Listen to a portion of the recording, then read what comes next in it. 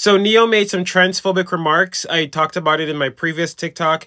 He apologized, but then he changed his apology. Ne-Yo, all right, listen.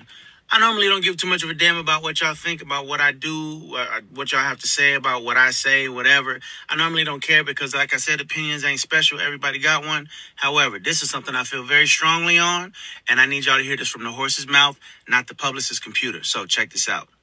First and foremost, I do not apologize for having an opinion on this matter. I am a 43 year old heterosexual man raising five boys and two girls. Okay. That's my reality. Now, if my opinion offended somebody, yeah, sure. I apologize for you being offended because that wasn't my intention. My intention is never to offend anybody. However, I'm entitled to feel how I feel.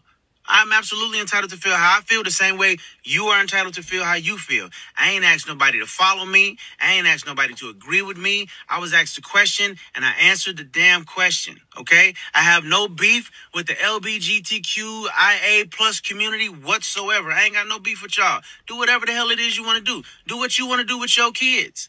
However, Somebody asked my opinion on this matter, and this is how I feel. I will never be okay with allowing a child to make a decision that detrimental to their life. I will never be okay with that. I don't care. I, I definitely plan to educate myself a little bit more on this matter. However, I doubt that there's any book anywhere or any opinion that somebody's gonna tell me that's gonna make me okay with letting a child make a decision like that. That's just period point blank, and that's how I feel. If I get canceled for this, then you know what? Maybe this is a world where they don't need a Ne-Yo no more. All right.